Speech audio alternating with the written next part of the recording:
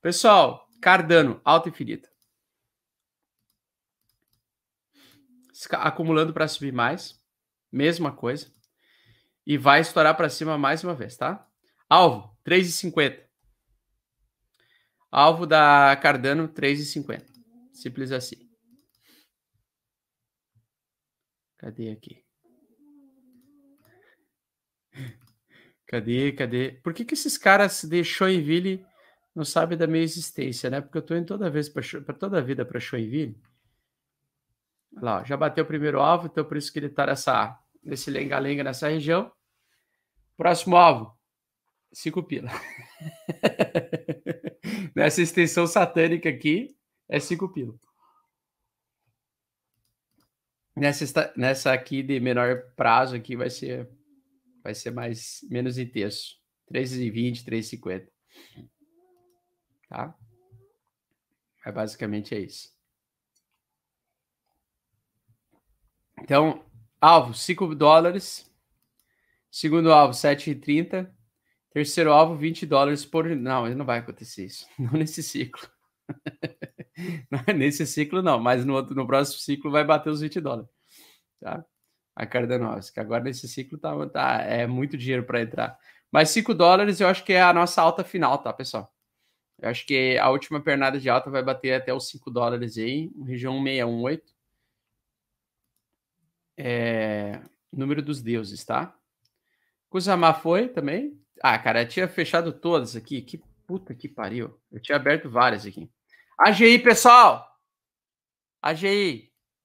Presta atenção. Alta infinita. A GX USD, dólar. Alta infinita também. Olha lá.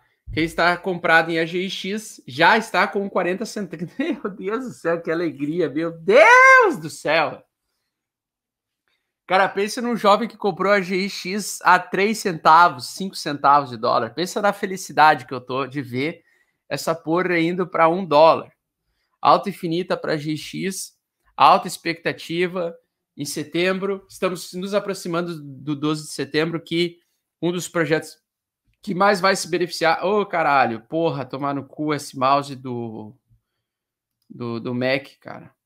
Mouse do inferno. É, imagina, imagina aqui, ó, setembro, a GX vai ser um dos protocolos que mais vai ter usabilidade com outros, outras blockchains.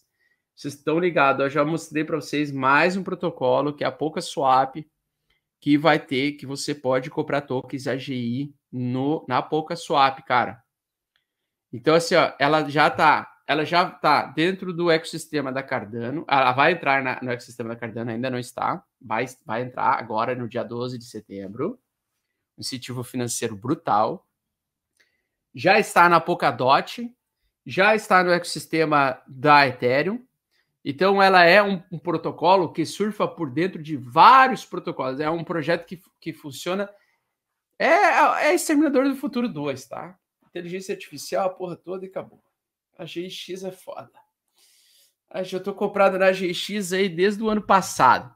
Se você pesquisar aí no nosso canal, digita aí Augusto Bax AGI. Então, alta infinita para ela, já subiu aqui desde o do final aí do, da queda de julho já subiu os 255% de valorização e vai ter mais alta, tá? Vai seguir em alta. É, essa é a minha expectativa. Beleza? E a outra que eu tinha separado, deixa eu ver, acho que era esse DAO, eu não lembro agora. Pois eu tinha separado uma outra uma outra um outro projeto aí. Esse DAO também segue em alta infinita, tá? Padrão de alta mesmo, sem parar. Nós temos aí uma cunha inversa, essa cunha inversa mostra para nós onde potencialmente pode ser o alvo para bater alta. Então, você une os topos anteriores aqui. Basicamente, o alvo vai ser mais ou menos projetado aqui na região de 6 dólares aqui. Ou você pode também usar a extensão de Fibonacci, tanto faz. Tá? Mas a, a ideia é AGI ter alta infinita, tá, pessoal? AGI é ter alta infinita. Ó, quase. Quase acertei. Aqui, ó, 6,36, tá? Então, 6,36 é a expectativa de alta para a AGI, depois dela acumular lateralmente. O normal é ela acumular aqui nessa região e voltar a subir lá na frente, tá? Também tem expectativa fundamentalista de usabilidade, expectativa de alta infinita, a porra toda. Fundamentalmente falando, excelente, tá? E array? Ah, outra era array, exatamente. Pô, a gente tinha quase esquecido da array. Ray, alta infinita, mesma coisa. Expectativa de lateralização e acumulação. A continuação de alta. Continuação de alta. No gráfico de 15 minutos, está fazendo o gráfico igual, idêntico à acumulação lateral da Kardanovski antes dela explodir. Já vou mostrar isso para vocês em tempo real.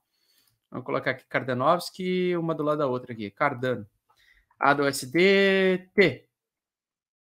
Kardanovski. E depois eu vou mostrar uma ferramenta excelente para vocês, para quem é, é, é, novatinho. Ah, eu sou novatinho, eu sou inocente, não sei o que fazer da minha vida. Eu tenho medo. Eu vou mostrar para vocês uma ferramenta excelente que está no primeiro link da descrição para você entrar.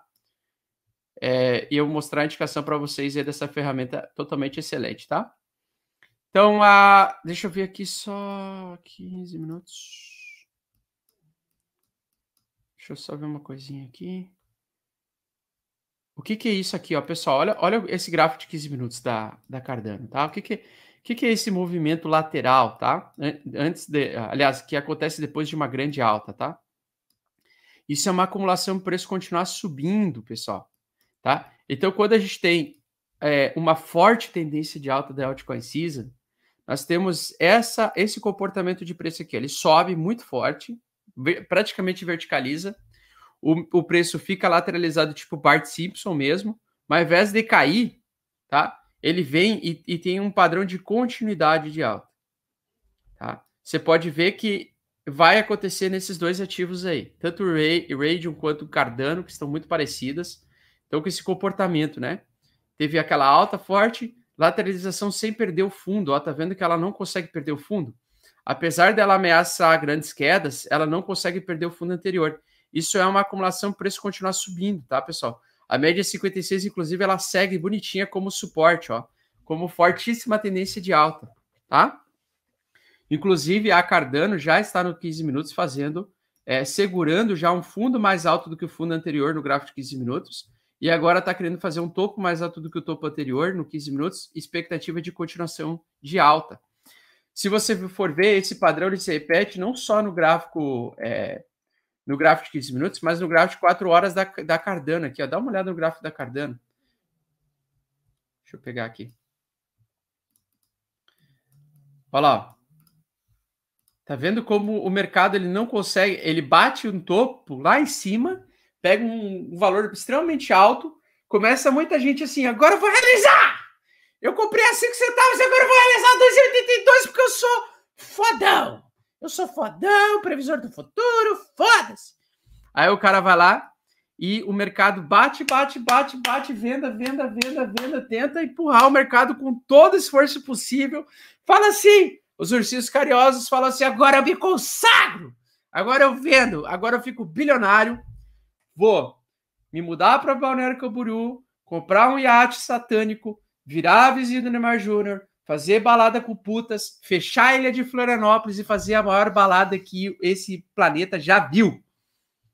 É isso que os ursinhos estão prevendo, realização de lucro. Só que tem mais gente comprando do que vendendo.